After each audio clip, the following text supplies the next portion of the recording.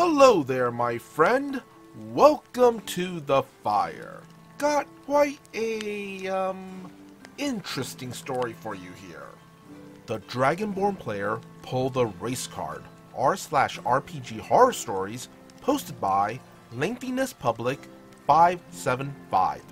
I honestly debated whether or not I should even post this story. I ended up concluding that this was a story that I should post. Just know that I felt that this was the right thing to do.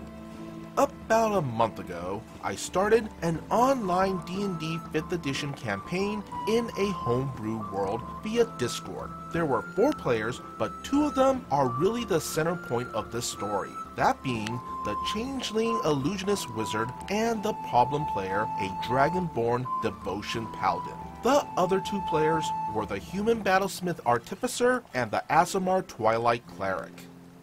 Session 0 went well, and everyone had a good laugh, and pretty much got along with one another. I love helping players with character creation and am somewhat lenient with character alignment, so when the Paladin player told me he wanted to be a lawful good character, I was all for it, but informed him not to go overboard. He agreed and finished up his character along with the other players. The first session was where the players and myself ended up with problems. The group started off in the country's capital of my world, standard Mediterranean setting. They were set off on a quest by a duke to deliver an archaeological relic, Ospian Dagger, to a research facility near the coast of town. The quest in turn would award the players with a small amount of gold and connections to NPCs for future information. After a run-in with an underground syndicate, a hag disguised as a researcher, and small amounts of foreshadowing, my players complete the quest. The group overall helped each other quite a bit, having good character role-playing skills, communicated with each other quite well, and developed camaraderie very fast. The problem player paladin was good, and I didn't expect anything was wrong at all. His Dragonborn was a typical strong, quiet, no-nonsense type that had good banter with the wizard. The problem arose from when the party split into twos with the paladin and wizard going one way while the other two players went the other. The wizard and paladin entered a magic store and were greeted by a halfling shopkeep. Note, I am a very lenient DM who doesn't restrict my players to certain items, but I don't give it to them on a silver platter. I leave it up to my players to be creative in a way which they're able to acquire such items. If they could think of a very clever and innovative way of getting the things that they want, then I will allow it. I also don't worry about players breaking the game.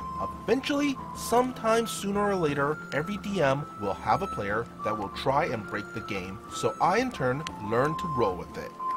The wizard was interested in a robe of useful items that was at a price of 100 gold, a very steep price for my players who roughly have about 50 to 80 gold pieces each at the time. The wizard, after a few failed negotiations, decided to cast Charm Person on the shopkeep to get a better deal. The paladin in turn made a perception check to see what was going on and rolled a critical success, seeing the wizard do this. The paladin in turn cast a level 1 smite behind the wizard along with Great Weapon Master, rolling yet again another critical success, which would have turned the mage into ground hamburger.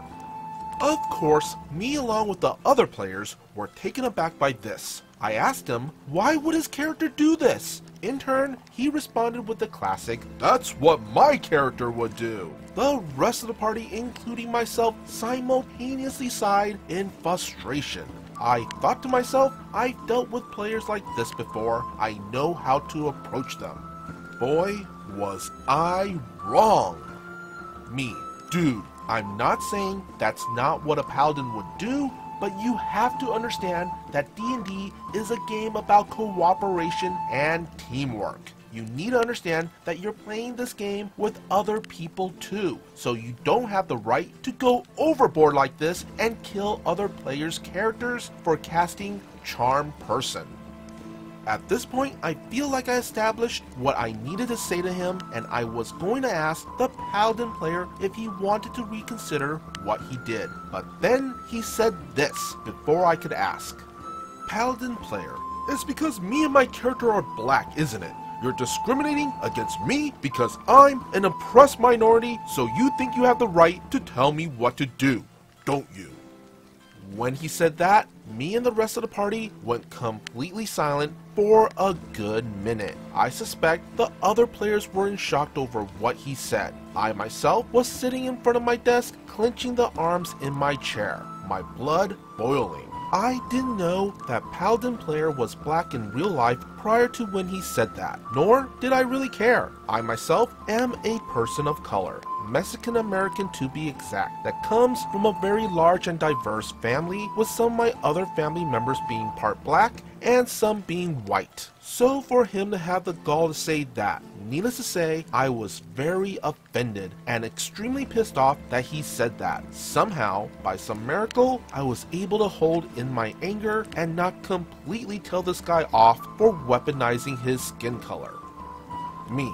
Alright then. If you feel that way, then you could go ahead and find a different group to join, because at this point, I don't see you playing in my server anymore. Paladin player. What?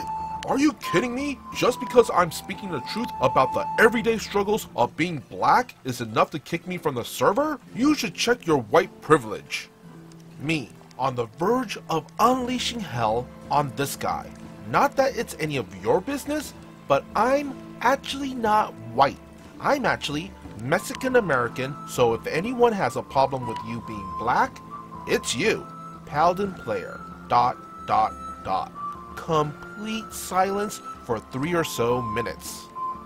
After a few minutes, I just ended up kicking and banning this individual from the server. I ended up retconning the events of the Paladin and what he was about to do. A couple of weeks have passed and we ended up getting a new player, a half-orc zealot barbarian who gets along with the group even better than before. I talked it over with the other players of what they thought of the whole situation and my actions. Overall, they ended up agreeing with what I did and said that keeping my cool was the right thing to do, despite me wanting to yell at him with every fiber of my being. At the end of the day, I was very proud of myself for being the better person of that whole situation.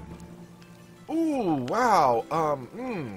Let's first start off with, while reacting to the charm person spell in that context could be considered lawful good, but then taking it to the extent of what the paladin did was being a lawful a-hole. Also, I gotta say, I think people misunderstand the spell Charm Person. At least how it is in D&D 5th edition. The caster isn't outright controlling a person's will like a puppet, as most people think it is. It's more like the target of the spell just becomes more friendly towards the caster. They won't outright murder someone for the caster, but they might give them a good discount on an item or help them into a party that they weren't invited to.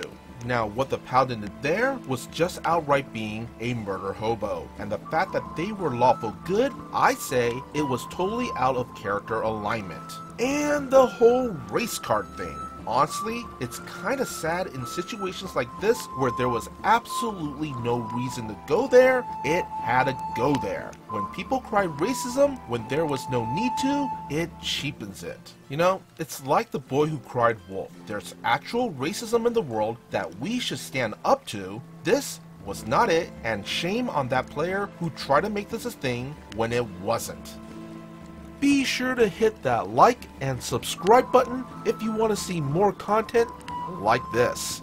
And would you kindly follow the socials posted in the description below. As always, be good, be great, be awesome.